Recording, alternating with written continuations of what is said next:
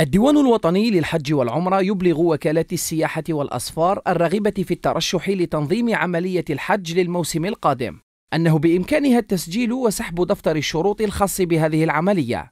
سحب دفتر الشروط سيكون ابتداء من الواحد والثلاثين ديسمبر 22 عشرون مقابل دفع مبلغ خمسة آلاف دينار لحساب الديوان الوطني للحج والعمرة.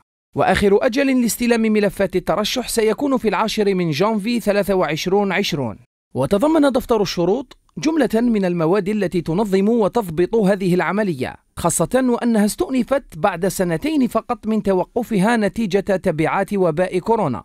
وكانت أبرز المواد اشتراط النشاط لخمس سنوات متتالية في تنظيم العمرة وسبع سنوات على الأقل من النشاط في المجال السياحي وأن لا يكون صاحب الوكالة متابعا قضائيا. كما تلتزم الوكالات بضمان تذاكر السفر ذهابا وإيابا للحجاج. مع التأكد من قيامهم بالفحوص الطبية اللازمة بالإضافة إلى استقبالهم وتفويجهم ومرافقتهم خلال الإجراءات الإدارية والإشراف على نقلهم خلال القيام بكل الشعائر.